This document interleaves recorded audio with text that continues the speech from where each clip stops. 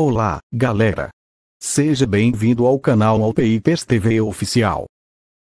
No vídeo de hoje respondo, será que o Samsung Galaxy Tab A7 Lite tem suporte para a tecnologia do 5G?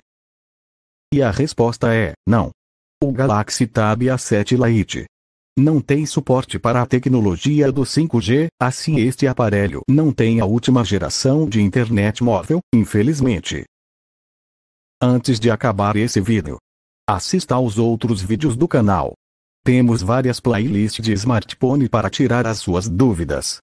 Descubra o que você precisa saber, de forma rápida e sem enrolação. Temos playlist do Galaxy S20 FE, Galaxy A02, Xiaomi Poco F3, Moto G60, LG K22 e muito mais. Deixe o seu like aí por favor, e inscreva-se no canal, e até mais.